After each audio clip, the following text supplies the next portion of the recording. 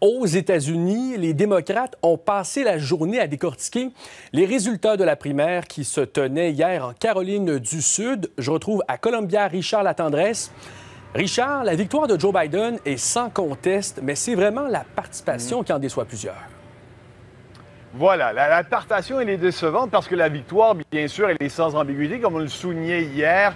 96% du vote. Les deux opposants étaient inconnus pratiquement ici. Marianne Williamson, l'écrivaine, et Dean Phillips, le congressman du Minnesota. Donc, c'est une victoire sans contredit euh, pour euh, Joe Biden. Sauf que quand on regarde les chiffres, effectivement, de la participation, a dit 131 000 électeurs seulement se sont prononcés. Ça, ça, signifie à peine 4 mhm. des électeurs inscrits, la participation la plus faible depuis des années. Mais c'est vrai que la compétition, comme je viens de vous le dire, n'était pas très forte. Si on compare à 2020, alors qu'il faisait face, Joe Biden, à Bernie Sanders, à ce moment-là, 540 000 personnes s'étaient prononcées. Et en 2008, lorsque Barack Obama et Hillary Clinton se faisaient la lutte pour l'investiture démocrate, 534, 532 000 électeurs mhm. euh, s'étaient annoncés. Alors, sur ce plan-là, on est déçus, c'est d'autant plus qu'on souhaitait voir sortir l'électorat noir, où on va euh, chercher consolation, a dit, c'est dans la participation pour ce qui est du vote par anticipation. 76% euh, des gens qui se sont,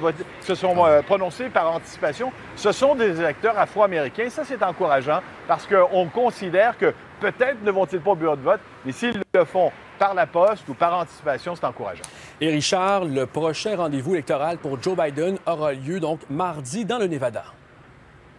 Oui, dans le Nevada. Et ça, c'est intéressant parce que c'est aussi un État où le profil ethnique est différent. 16 de l'électorat est latino. 40 des électeurs aussi n'ont pas de diplôme euh, post-secondaire. Donc, c'est un électorat auquel on va parler d'économie pour leur dire les choses se sont améliorées. Et, d'ailleurs, c'est un des arguments mis devant par une électrice ici en Caroline du Sud, Diva Moncada qui soulignait qu'effectivement, on parle peu de l'économie, mais les choses se sont franchement améliorées. Écoutez-la bien.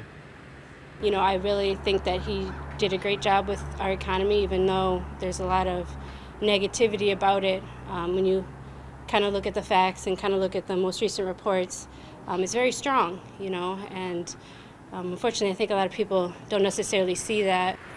Et puis, on n'en a pas fini, euh, a dit de la Caroline du Sud, parce que Euh, il y a le rendez-vous républicain le 24, alors que Nikki Haley, l'ancienne gouverneure de la Caroline du Sud, il va d'une dernière tentative pour se démarquer. Bon, on sait très bien comment ça s'est passé en Iowa et dans le New Hampshire où elle a fini loin derrière Donald Trump. Elle espère ici faire mieux parce qu'elle reçoit quand même un bon appui financier de ses donateurs. Elle pense pouvoir encore avoir un peu euh, d'écho ici dans son État. Bon, les sondages ne vont pas dans son sens et on s'attend d'ici au 24 à ce que les attaques contre Donald Trump se multiplient. Ça risque de faire mal à la candidature de l'ancien président, mais encore une fois, les, regards pour ce qui est euh, des, élections républicaines vont rester centrés sur la Caroline du Sud, alors que mardi, les euh, démocrates, eux, regardent vers le Nevada. Richard, vous nous parlez ce soir en direct de Columbia. Merci beaucoup. Bonne soirée.